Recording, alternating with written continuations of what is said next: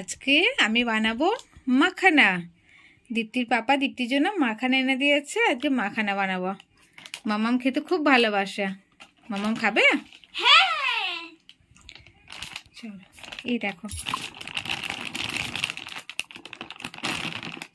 ফুল মাখানা। এই মাখানার প্যাকেটটা আড়াইশো গ্রামের এর এমআরপি হচ্ছে তিনশো আশি টাকা।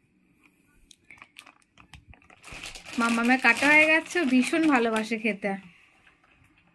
এই যে মাখানা।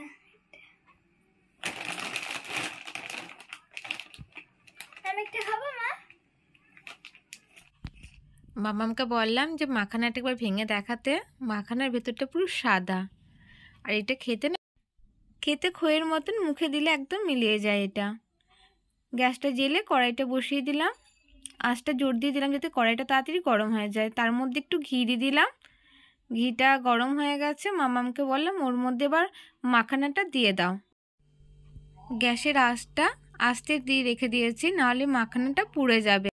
মামামকে বললাম, ওপর থেকে একটু লবণ দিয়ে দাও যেটাকে নাড়াচাড়া করে নাও।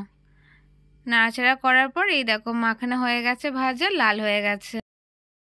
ভেজে রেডি করে নিয়ে চলে এসেছি। দীপ্তি মামামের ভীষণ প্রিয় খাবার এটা তাই তো? ভাজার পর এই দেখো এত ক্রিস্পি করা হয়ে যায়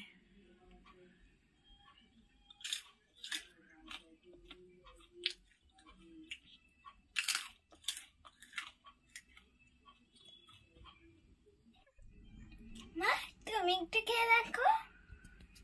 আমি খাব? হ্যাঁ। কই দাও। নাও।